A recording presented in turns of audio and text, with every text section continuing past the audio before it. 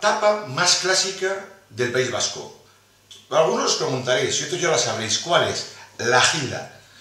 La Gilda nació en San Sebastián, en un bar que se llamaba El Vallés, y sus ingredientes son muy sencillos, casi todo el mundo los tiene.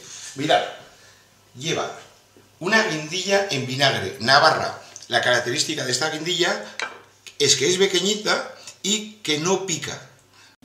También utilizaremos unas anchoas en aceite. Procurar que tenga poca espina. Yo las tengo aquí, ¿ya veis? Luego utilizaremos también aceitunas verdes pero sin hueso. La forma de preparación es muy sencilla. Lo que nos hace falta es también unos palillos y veréis qué fácil es. Vamos a coger dos guindillas, las vamos a pinchar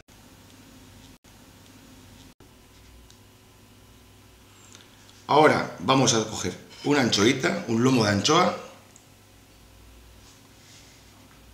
Vamos a hacer como un librillo. Y ahora, una aceituna verde. Hemos conseguido hacer de esta forma una gilda, una tapa estupenda, sencilla y fácil de hacer.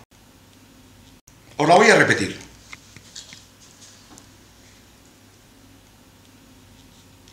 guindilla, guindilla, anchoa, librillo, ¿eh? como hemos dicho, dentro. Ahora, aceituna. Procurar que sea sin hueso. Y ya tenemos, sencillo, el primer pincho vasco, una gilda.